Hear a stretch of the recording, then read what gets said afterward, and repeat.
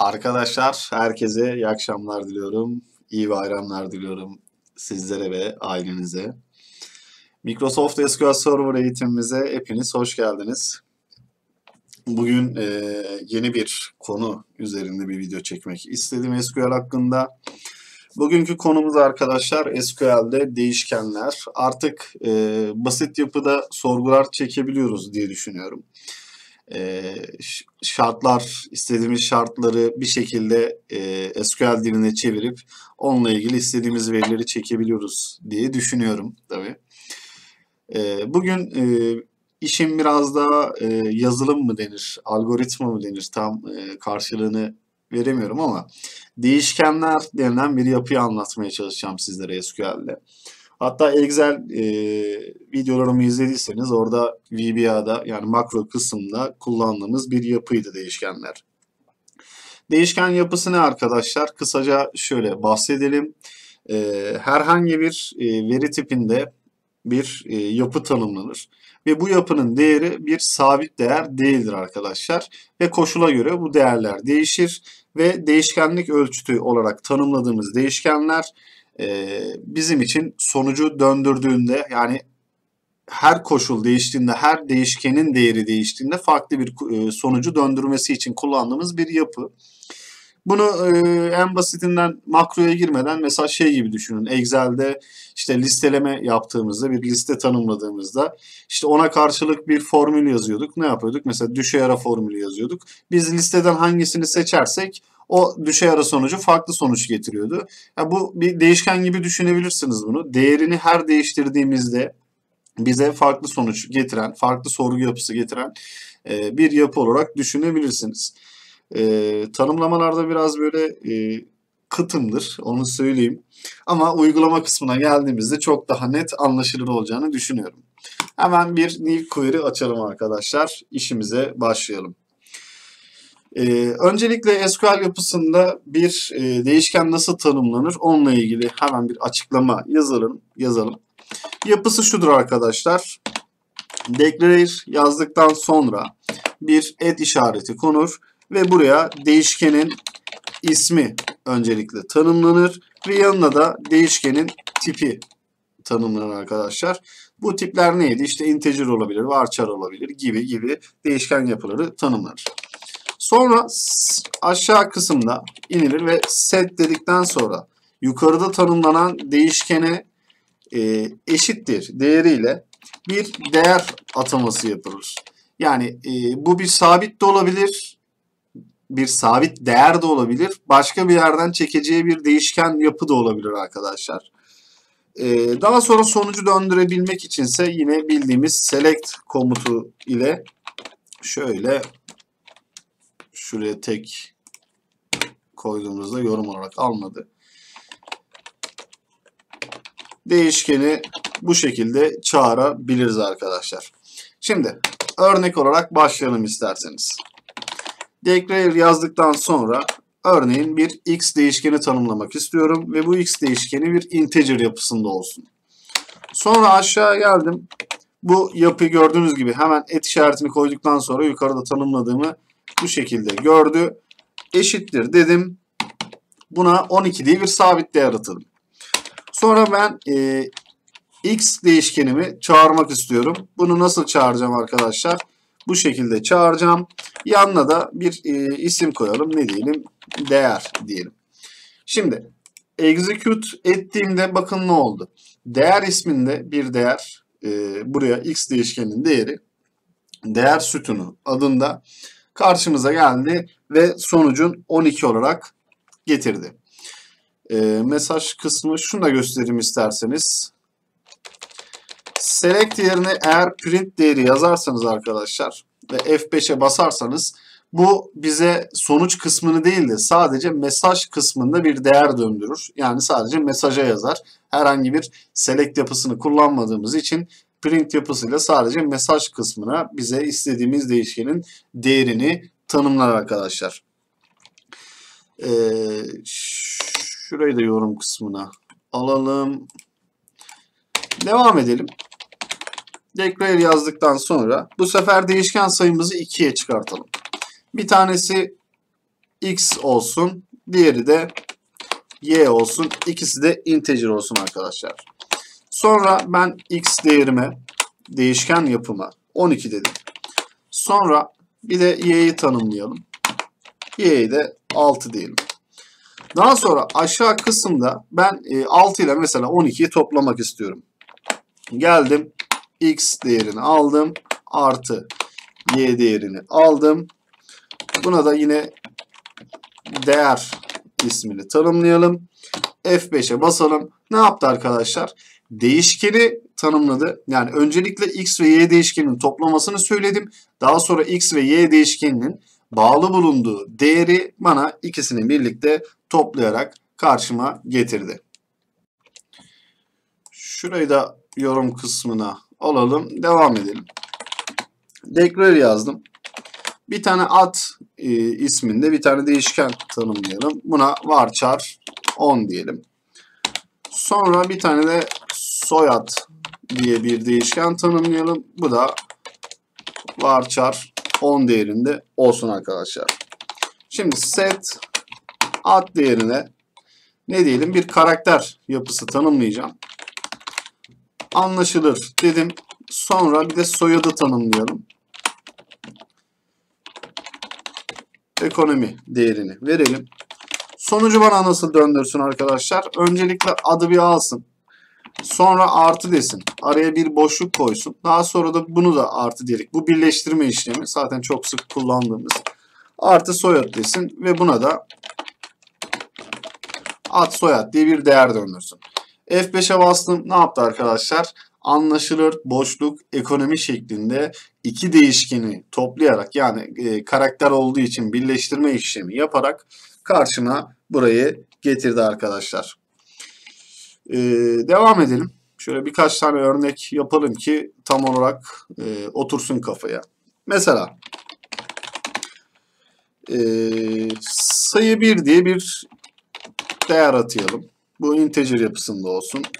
Sonra sayı 2 bu da integer yapısında olsun. Bir de çarpım bu da integer yapısında olsun. 3 tane değişken tanımladım. Çok Çok özür diliyorum. Şimdi ilk olarak sayı 1'i bir atayalım. Sayı 1 dediğimiz ne olsun arkadaşlar? Mesela 5 değeri. Sonra sayı 2'yi atayalım. Bu da ne olsun? 10 değerini alsın.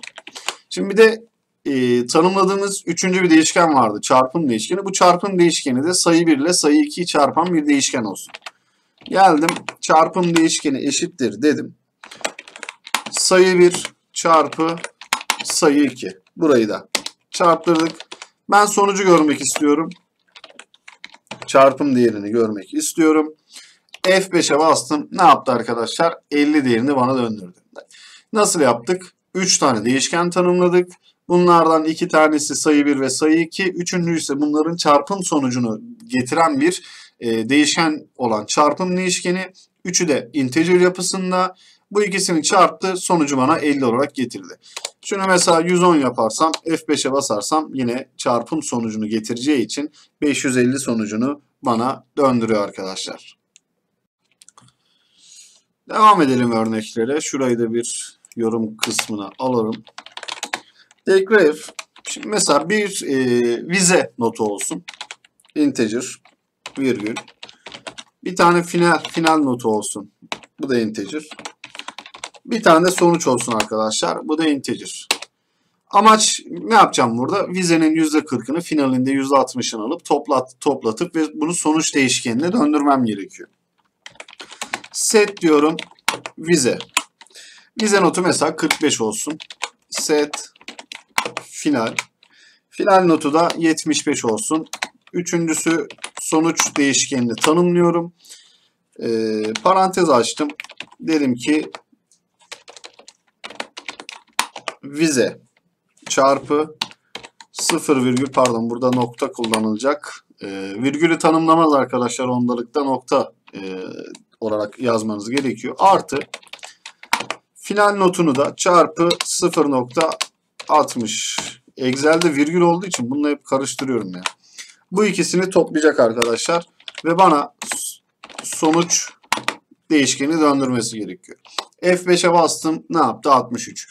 45'in %40'ını aldı. Finalin 75'in de %60'ını aldı. Topladı. Değiştirebilirsiniz. 80 derseniz 66'ya çıkar. Burayı 30'a düşürürseniz sonuç 60 çıkar. Şimdi e, değişken yapısı basit bir şekilde böyle ama bu tabii ki e, bu şekilde kullanılmıyor. Yani bu kadar basit kullanılmıyor. O anlamda söylüyorum. Hani ilerleyen süreçlerde döngüler yapısına geleceğiz. Koşullar yapısına geleceğiz. Mesela Excel'de vardı ya çok basit bir şekilde düşünün.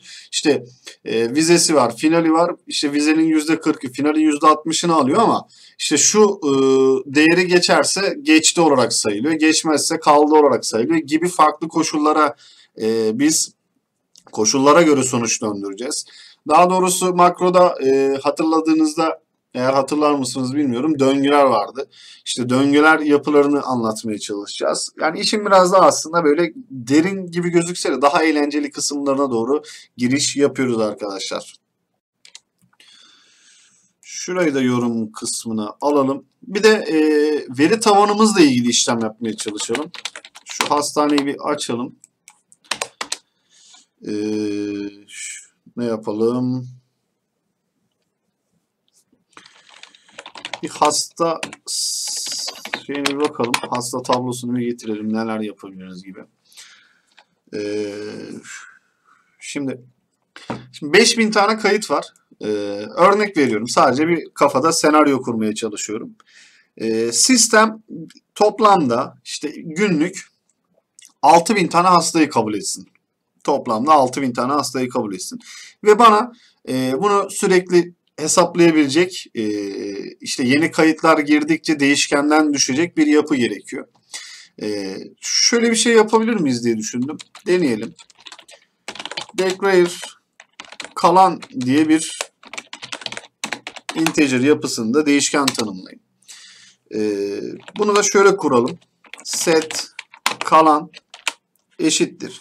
İşte toplamda ne kadarlık bir e, benim hasta kontenjanım var günlük? 6000 tane. İşte buranın da günlük bazda tutulduğunu e, düşünün. Senaryo bazlı. Şu an tamamen sallıyorum. Ya aklıma bu geldi.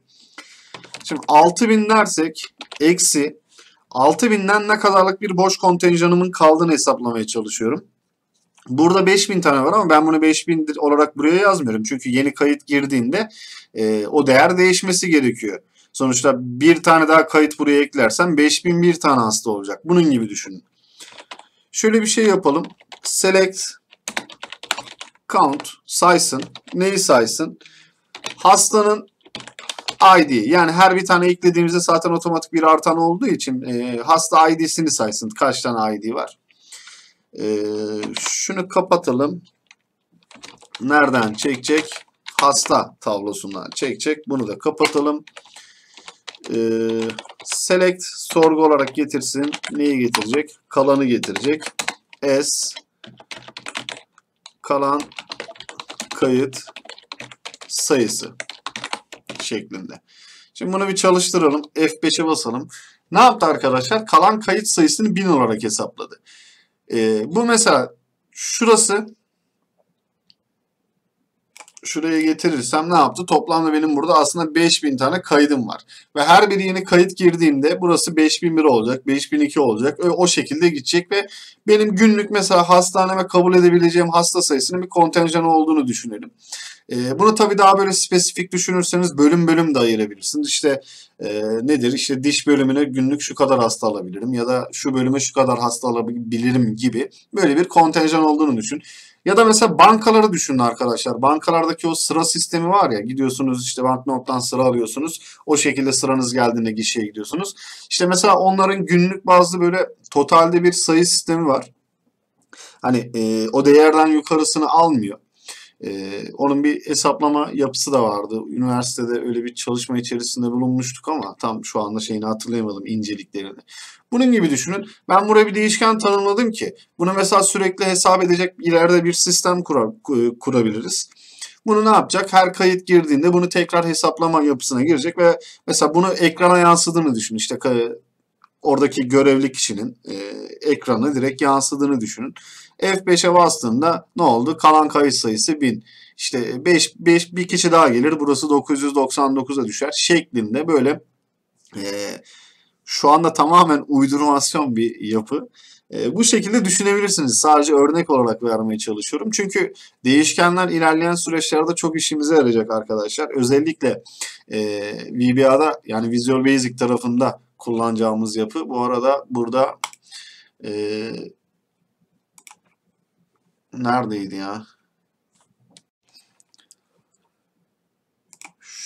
Şurada tamam solution export. Neyse.